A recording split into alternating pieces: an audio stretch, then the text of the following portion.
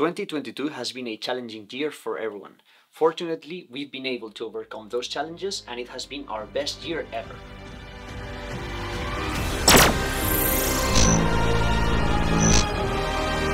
Really, Luis?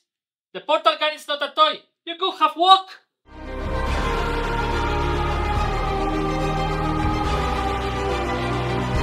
We started 2022 strong by announcing our new long-awaited columnar keyboard with built-in tenting, wireless, lots of thumb keys, and spectacular RGBW.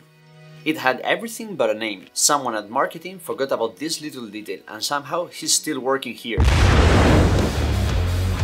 Fortunately, we have you, our beloved dygmates. We asked you for suggestions and you delivered. You came up with more than 750 names, some of them as cool as the Dygma Aegis or the Dygma Ionic, but we finally decided on the Dygma Defy. We like the name because it sounds badass and it connects with our values as a company. This new keyboard defies the industry and its design conventions. The next few months were all about preparing the Kickstarter campaign for the Dygma Defy. But who better to tell you than the guy that forgot to name the keyboard? Every single day. After hammering you with all kinds of videos and emails about the keyboard, sorry, we launch on June 1st. And we can only say one thing. Thank you. You exceeded all our expectations. The project was funded in the first minutes and we reached over a thousand backers in our first hour. In the end, almost 4,400 of you backed the Dygma Defy. And if you consider the post-campaign sales, we surpassed by far the 1 million mark. Plus, we got to keep all the cool stuff we used to record the Kickstarter video, where we travel in time to bring you the keyboard from the future. By the way, some footage didn't make the final video, so if you want to see the director's cut and the outtakes where Terminator dances and speaks in a British accent, you'll have to make some noise in the comments below. However, releasing a keyboard is not all fun and games, at least for the product team. Right Manel? Designing the Defy wasn't easy. The comfort, aesthetics, the functionality, everything has to meet our highly insane standards. But nothing compares to how manufacturing is. We have been through thick and thin perfecting the samples with the suppliers, dealing with the certification lab, and figuring the firmware for such a complex keyboard while navigating the world chip shortage. It's been like an emotional roller coaster, but luckily we are through the worst part. The Dygma Defy has passed the certification and we are ready for mass production.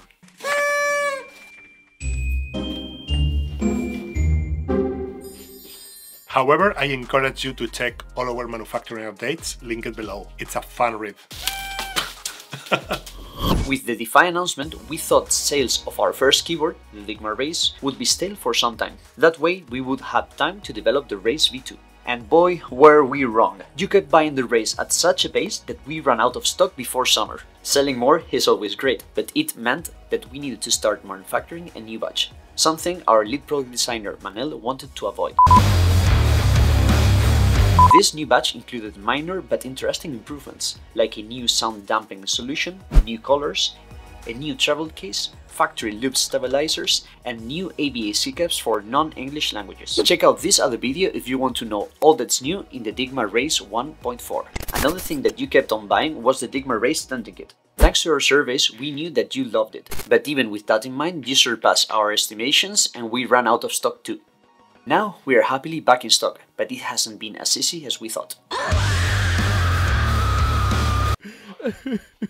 to deal with this increasing workload, we sped up our hiring. Juan, our new firmware engineer, joined the team in spring to assist Alex, our full stack developer, and Stefan, our senior electronic engineer. By fall, we had also hired Gustavo, another firmware engineer, and Javier, an electronic engineer.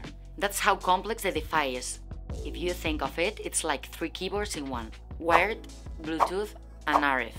But not only the engineering team grew.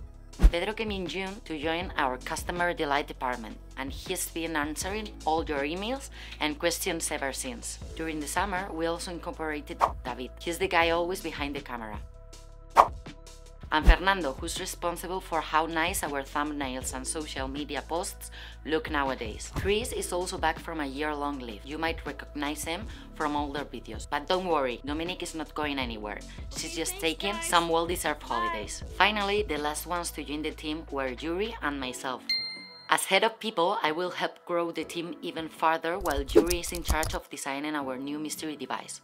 If you don't want to miss anything about it, don't forget to like this video, subscribe, and hit the bell icon. Hey, I feel like a YouTuber! Yeah, yeah, yeah, sure, sure, sure. Another thing we've been working on is improving our website. It has a new look that's more in line with our brand, an intuitive navigation menu, and most importantly, it's now easier than ever to configure your keyboard, with more customization options than ever before. Now you can choose from six different colors and mix and match the keyboard's face with black or white keycaps and palm pads, something you have asked us for years. On top of that, we have launched the new Dygma refurbished shop, where you can enjoy the Dygma experience for less. Every Dygma certified refurbished is thoroughly inspected, tested, and repackaged to ensure you enjoy the unmatched experience of unboxing the newly forged Dygma keyboard. If you want to save some money, go check them out on the link below. And remember, they come with all the goodies and have the same two year warranty. Hey, that's almost the same amount of time it took to develop Bazecor 1.0, right, Alex? Don't run, Alex! Alex!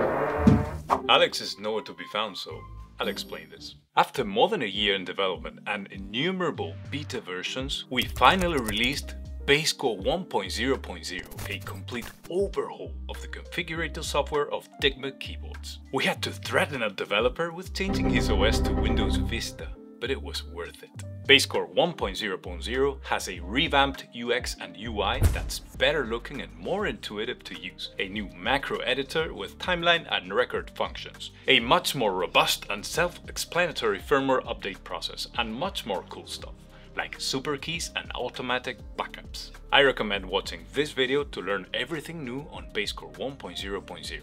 Of course, this is just another step along the way. With the Dygma Defy on its way, our software will keep growing and improving. That's if we're able to find Alex. Finally, you may have noticed that we have new backgrounds in our videos. That's because we have a new studio with fancy equipment and much more space to goof around. Again? We hope you enjoyed this recap as much as we've enjoyed this year. And don't forget to subscribe if you don't want to miss everything that's coming up. Besides shipping the awaited Dygma Defy, we have much more in store. We'll announce the mystery device that we've been working on. We'll keep improving the Bazecor to make it flawless, and we also have plans to develop the Raise V2 with many, many features. And of course, we will continue to grow and make awesome videos. See you next year! ¡Uy! ¡Mira! ¡Que la he cogido! Juan, our f- bl- bl- bl- Explanatory, explan explanatory, explanatory. Habría que cargarla. Yeah, right. Eh, Ooh.